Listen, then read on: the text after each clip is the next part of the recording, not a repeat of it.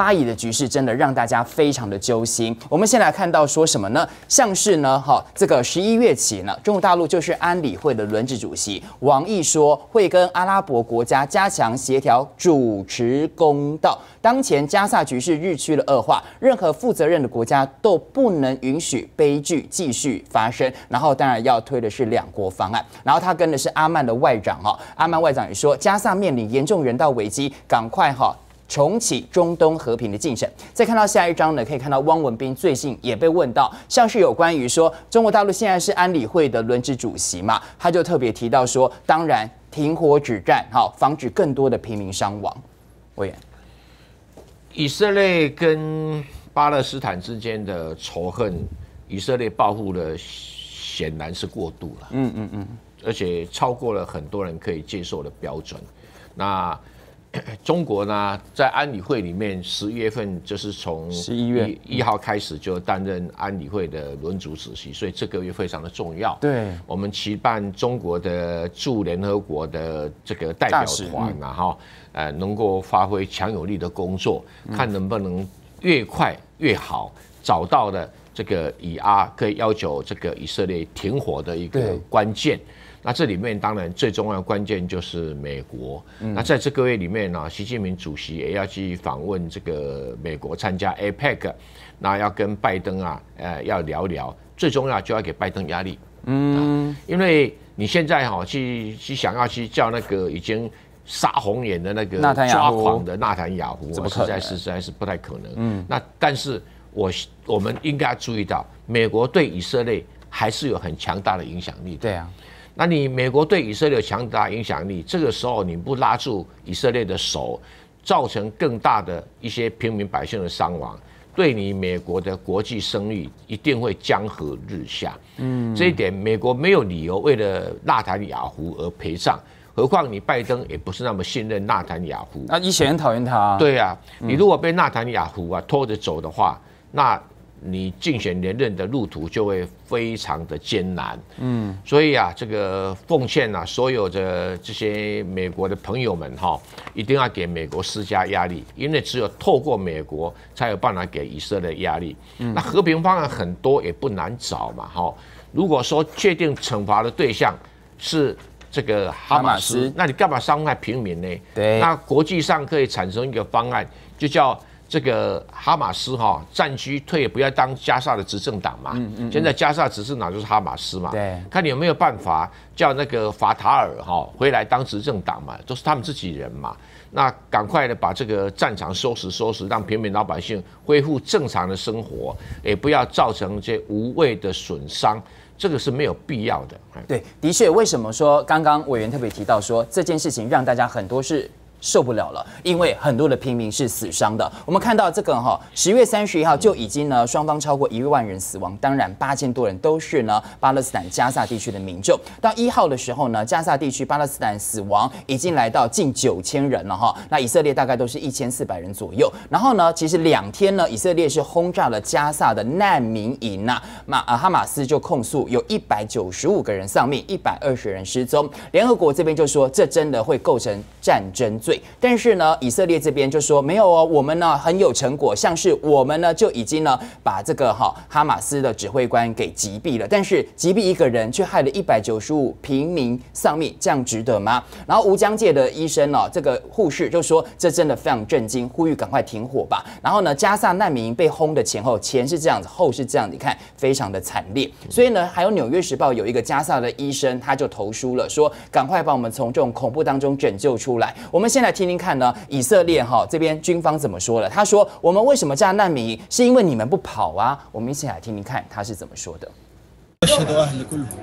I lost my whole family, Abdul Karim says, holding a list of those killed just today.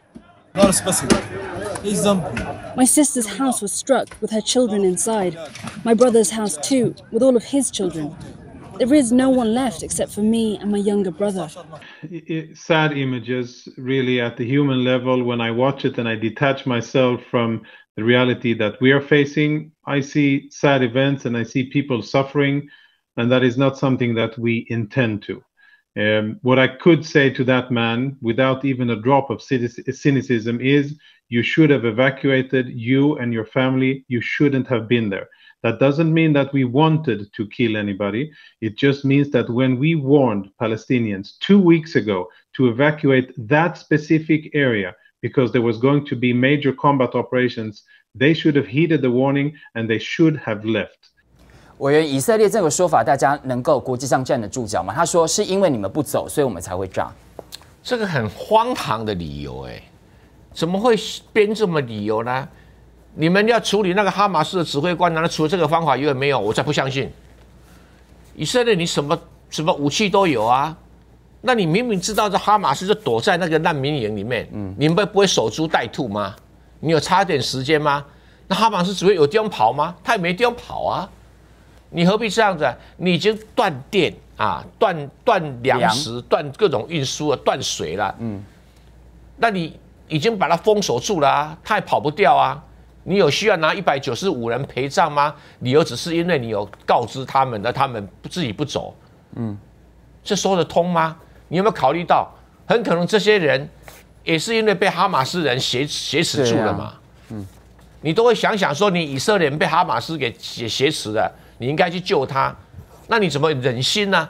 在这个哈马斯的指挥官在，你说那个那其他的难民敢去去告他，敢去离开他吗？嗯，你有没有想到这一点啊？对，所以我觉得以色列就超乎人道了，嗯，要将心比心，好不好？对，你的敌人是哈马斯，不是巴勒斯坦的平民，好不好？对啊，所以大家才会那么气愤，是说哈，以色列现在被说杀红了眼哦，你为了要把哈马斯给歼灭，结果呢，害了很多是平民无辜的老百姓丧命了。所以你可以看到哈，加萨被轰炸成这个样子，重点是难民营啊。好，然后呢，其实呢，加萨地带卫生部门也说，加萨有三十五家医院，其中十六家已经停止了运营运营了哈，然后五十一医院五十一家的诊疗所也被迫关闭了。所以可以看出来非常非常惨烈。所以现在呢，国际上挞伐声音是蛮大的哈。比如说约旦现在也召回了以色列的大使，然后呢，玻利维亚是宣布我跟你断交，然后呢，结果呢，以色列就更呛了，说你要跟我断交，你就是跟恐怖主义跟伊朗投降。然后呢，呃，智利跟哥伦比亚也是宣布召回了以色列大使。这些中美洲的国家很有义气，我们给他肯定。但是我们也不得不承认一件事情：这些国家如果不能够对美国施加压力的话，对，没有影响，因为它国家太小了。是啊，除非有所有的大国啊都来直接说要跟以色列断交啦，跟美国断交，才有可能发生这种情形啊。但是现在 G7 哈，因为他们财大势大，真的很难撼动，所以在这种情形底下，我们可能就需要找另外的办法来解决这个问题。那看十一月份，那中国担任 安理会轮值主席的话，可不可以提出新的决议案？对，那你就不断的提，不断的让美国去否决。对啊，让国际就会看到怎么看到这个事情。嗯，那会可能会让小国家跟他断交的这种这种这种议题啊，会更有这个作用啊。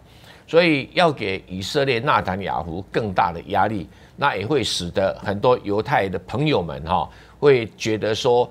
哎，可能良心上啊，要做更平衡的处理。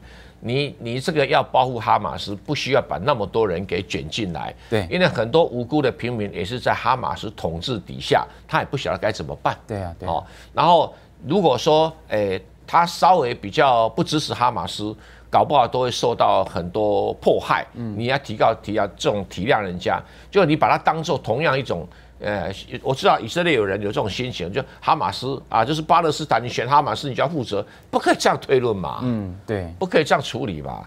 所以哈，以色列哈，你。要把人家对你在二次大战的同情心统统磨损的一干二净，你才甘心吗？嗯，对啊，以色列哈，其实大家以前呢觉得你是呢被害者，所以呢国际上有很蛮多人是同情以色列的遭遇，但也不应该是当初的哈这个被害者现在变加害者嘛，大家都是哈同样的一个标准。但是你可以看到国际上的舆论是越来越强大了，比如说二十七号联合国大会就压倒性的通过了决议，要求以色列跟哈马斯两个都立即停火。然后呢，其实有一百二十一票。赞成啊，美国为主的是十四票反对，其中很多人都是反对。比如说中南美洲的部分，现在呢都是投赞成，你赶快停火吧。就巴拉圭啊是少数投投呃投反对票，代表美国影响力真的蛮大的。然后另外还有包括说什么，说到拉美国家，委员刚才提到说你要给美国压力，但是呢他们国家可能也怎么样，跟美国靠太近了，所以呢这个压力怎么给呢？好，或者是说他们有这个底气跟美国对抗吗？我们现在看到是什么呢？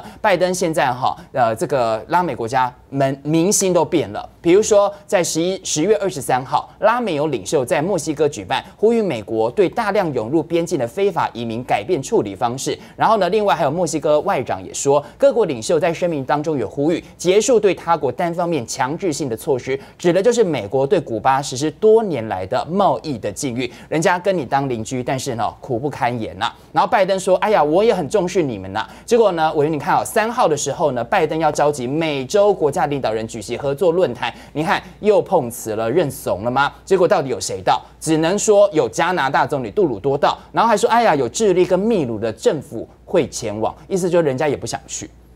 你这个时候如果说把他们找来，我们共同商量怎么处理以色列跟巴勒斯坦问题，大家一定会去嘛？对，你现在开的什么会议啊？对啊，什么内容啊？而且国家领导人举行合作论坛，现在现在是谈着合作的时机吗？人家不是说不跟你美国合作，也不是说你合作的议题不重要，而是这个时间点上面大家关注的不是这个东西嘛？你缓一缓到明年去开多各种合作的议题都可以嘛？你为什么不改成合作，改成和平呢？对和平和平嗯加、加上以以巴的和平该怎么解决呢？对对对显然的，美国就是想要淡化这个议题。哎呀，你后面后花园，中美洲是美国后花园嘛？对啊，你们就后花园的小兄弟们就不要注意这个问题啊，不要当做有这回事啊我们一起。合作啦。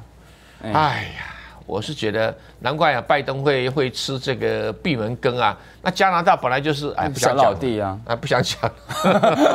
他一定去啊，他怎么样美？最近还跟美国一起过台海啊，军舰啊，嗯，那你知道这领导人的会议如果去参加，要回去会不会被他国内给修理啊？因为我们都已经觉得说美国就一直在挺以色列，然后那个我领导人还跟你美国站在一起，那领导人回家怎么就办？疯了啊，真的会被被抗议死。没有错，没有错。那杜鲁道比较勇敢嘛。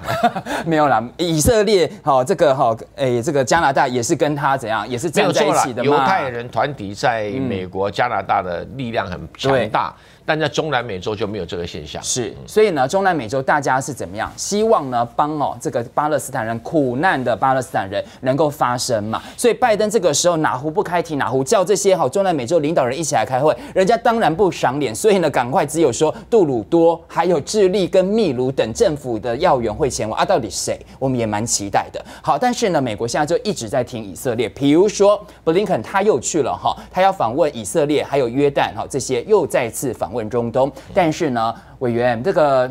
拜登这样挺下去，你可能会变成两面夹击。为什么呢？国际声望，你说可能会受到很大影响，国内也是如此。你不要以为说穆斯林没有票哦，穆斯林来看到，还有全国穆斯林民主委员会说，拜登你赶快立即啊促成加萨停火，否则没有选票。为什么它也有很关键性的意义呢？因为呢，阿拉伯裔的美国选民对拜登支持率从二零二零年五十九下降到十七 percent，四十 percent 还说我也许二零二四年要投给川普。哎，这个很可能会影响到关键摇摆州。哎，比如说二零二零年呢，六十四 percent 穆斯林是给拜登的，三十五给川普，他们其实蛮讨厌川普的哦。但是呢，哈，哎，还看到当年的时候，六十八 percent 的犹太裔也是给拜登。好，所以呢，拜登跟穆斯林其实哈都是挺拜登的。但是你现在哈一直都挺的是犹太的话，那穆斯林这一块可能会受到很大很大影响。比如说密西根摇摆州，可能也许就不投给你喽。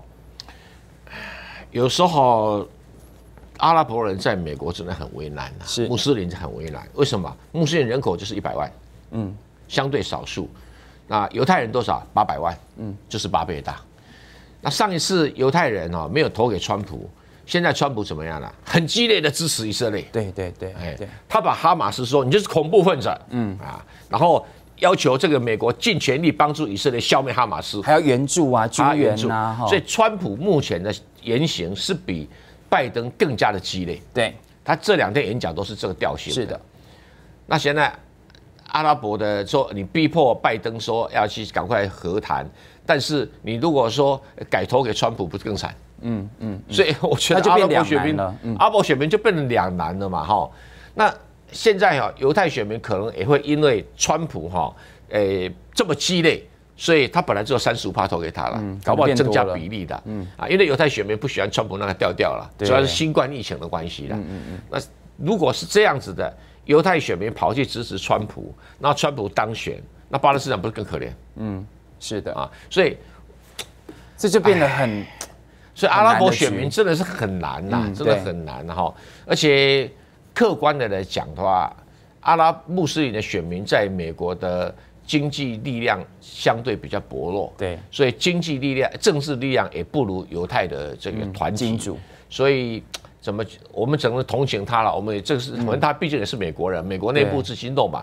那只是拜登哦，自己把自己搞成这样子哈，灰头土脸，真的灰头土脸，也很难堪呢。对啊，现在哈，美国是一直在挺以色列，所以呢，这个军方也动了。比如说来看到呢，美媒的星条旗报就说，美国向中东要再增派九三百名的士兵，本来已经九百名了哈，要加三百名。另外呢，美国的这个巴丹号两栖攻击舰已经抵达以色列附近的海域了哈。另外来看到呢，是说。哎，我们要把这张图放大，就发现说，哎，美国哎也派了很多的航母去了嘛，比如说福特号啦，跟艾森豪号，就是要坐镇这边，要防止伊朗。没有错啊，这个很多媒体在讲说伊朗会怎么样，我一开始判断伊朗不会怎么样，也不敢怎么，理由在哪里？因为美国啊，随时随地都要找任何理由来攻击伊朗，嗯，这伊朗自己心知肚明的。那如果说今天呢，因为以巴战争，那伊朗呢介入，那美国呢有理由就有找个茬，就开始修理伊朗。现在伊朗的军事力量真的不是美国的对手，而且伊朗以前呢还有俄罗斯可以在后面给他提供资源，像俄罗斯自顾不暇，也不可能给伊朗任何资源。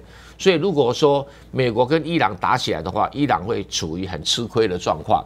所以你可以理解到，伊朗虽然有很多声音说，诶，谴责以色列、谴责美国，要支持巴勒斯坦，他始终不敢动，而且到昨天为止还是否认说哈马斯跟他有关。不过这个也的确，我们必须承认，这个哈马斯真的跟伊朗关系没有我们想象中那么好。嗯，理由在哪里？因为他们以前哈马斯啊，它是属于所谓的逊尼派，嗯，然后这个伊朗是属于什叶派，那。